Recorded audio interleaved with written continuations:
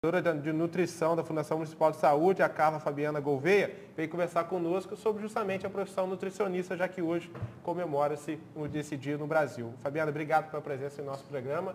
Nutricionista. Hoje o campus tem duas faculdades que estão cursando essa profissão aqui em nosso município. A demanda é grande para o nutricionista, as pessoas estão se preocupando em manter uma alimentação saudável ou não? A alimentação rápida é ainda a, a desejável? Bom dia. Bom dia. Campos ainda conta apenas com uma faculdade. Uma faculdade? Uma faculdade e uma aqui em Itaperuna. A gente só tem dois cursos de nutrição. A demanda é muito grande no campo de nutrição porque é muito amplo a atividade nutricionista. Né? Onde o nutricionista pode trabalhar para os vários segmentos que tem? É. Nós somos um profissional da área de saúde, mas estamos capacitados a trabalhar em área de saúde coletiva, programas públicos na área de saúde, é, alimentação coletiva, clínica, spa, hotéis, terapia nutricional, na educação, em docência. É, a gente tem hoje nutricionistas atuando muito em marketing nutricional, né, para fazer a promoção de saúde, do bem-estar dos indivíduos. A atividade é muito ampla. A profissão existe desde 67, mas só em 91 que a gente teve as nossas funções privativas homologadas, né? Então a gente está caminhando a passo lento, mas é uma profissão de muito orgulho e, ou seja, o que é se. É, você vai continuar dentro da parte da profissão? Pode, ficar tranquilo. Não, porque, na verdade, a dúvida que muita gente tem é o que é se alimentar bem? O que é estar nutrido, vamos dizer assim? É voltar ao tempo. Né? Nós precisamos retornar ao passado, às origens, né? Voltar a se alimentar como se alimentavam nossos avós, né? Hoje, com, com o marketing dentro do, do, do, comércio de alimentos, a gente passou a procurar por alimentos rápidos, né? Os fast foods, e acabamos tornando um país de obeso em vez de um país de nutrição. Isso numa camada, né, na classe A, né? Que a gente ainda tem de nutrição, a gente ainda tem a parte de segurança alimentar que cuida dessa área. Mas se alimentar bem é voltar às nossas origens. É voltar a comer o arroz e feijão, é voltar a comer legumes, hortaliças, frutas, sem nenhum segredo. Uma alimentação normal, básica. Isso é uma alimentação saudável. Mas as pessoas, por exemplo, que vão no, nutricionista, ela tem essa certa dificuldade justamente pelo dia a dia corrido. O que fazer? Mesclar o que não dá só para comer o saudável. É muito bom, mas não dá para só comer isso. É, a gente costuma brincar que comer é igual escovar os dentes, né? A gente tem que criar o hábito de se alimentar corretamente, né? A gente tem que criar o hábito de levantar um pouquinho mais cedo para tentar fazer um de jejum, um café da manhã melhor, correto, de três em três horas estar se alimentando, comendo uma fruta. E quando a gente fala em alimentação nesse período, não é só o almoço e o jantar, né? São os intervalos que a gente precisa de fazer. E é tão simples a gente levar uma maçã dentro da bolsa, uma barrinha de cereal, levar uma banana, parar em algum lugar tomar um suco, levar uma caixinha de suco. Isso é tão natural, é só criar o hábito de se alimentar corretamente. O correto é se alimentar amanhã, tarde e noite? Ou é, o correto é, é a gente é, ter uma alimentação de três em três horas. É às 7, às 10, meio-dia, 3, 6, 9. E a gente garante que dessa forma, com o alimento correto, porque a gente trabalha com qualidade, quantidade né, e variedade. A gente trabalha nesses três itens e a gente garante que dessa forma a gente mantém, consegue manter um quadro de saúde estável. Né? O interessante dentro do assunto de, da área do nutricionista é, acredito que muitas pessoas chegam para a senhora e para os demais é, da profissão com é, já desistido de várias situações que passaram, regime da água, regime da lua, regime disso, e aí tem que desmistificar tudo isso para poder é, seguir algo que é profissional e correto, né? É, porque as pessoas procuram, na verdade, os milagres, né? E eles não existem, né? Então a gente volta a dizer, se alimentar como nossos avós, lembrar como eles se alimentavam, né? Como, como que era essa alimentação se a gente conseguir se remeter a esses tempos antigos, a gente vai conseguir fazer isso com mais naturalidade. Não existem produtos, é, alimentos milagrosos, né?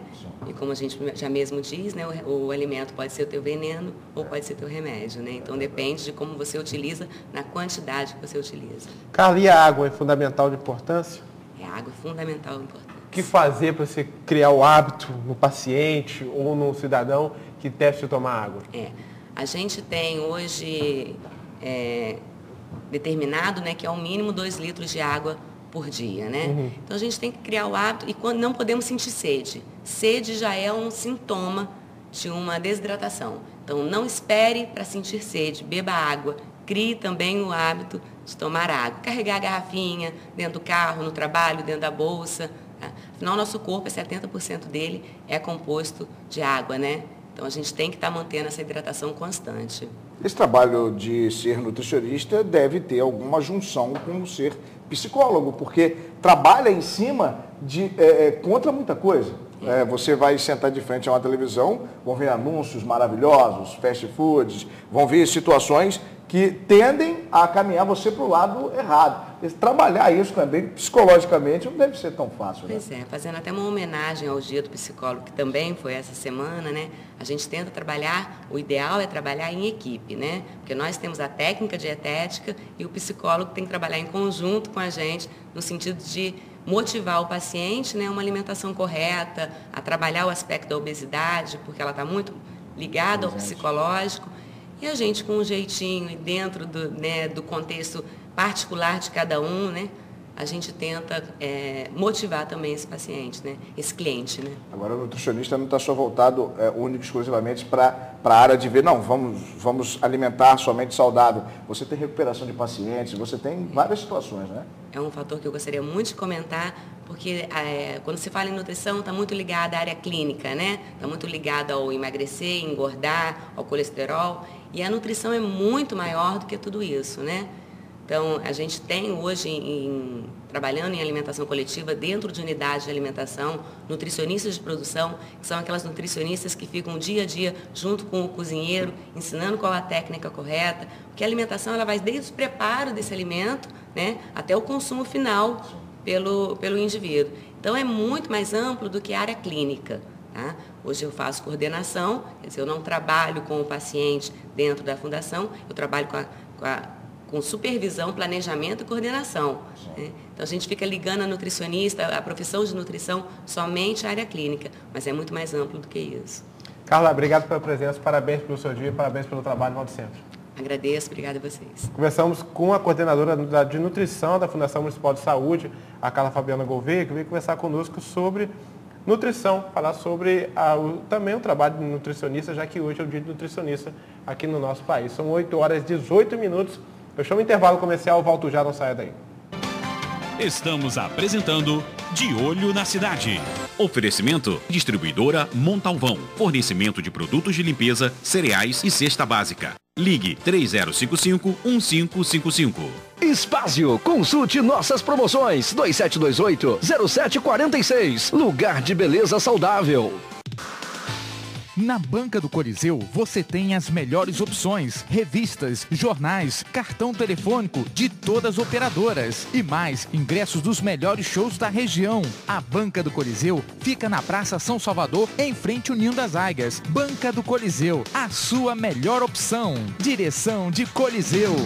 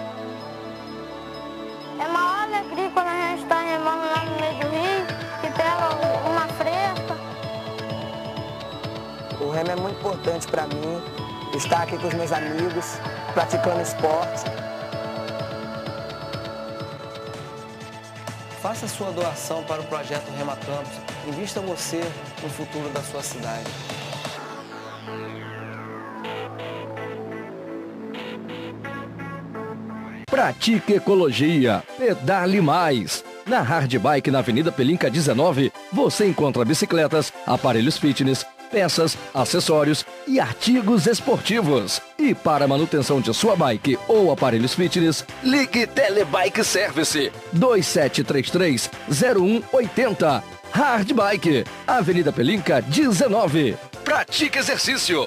Pedale mais bike.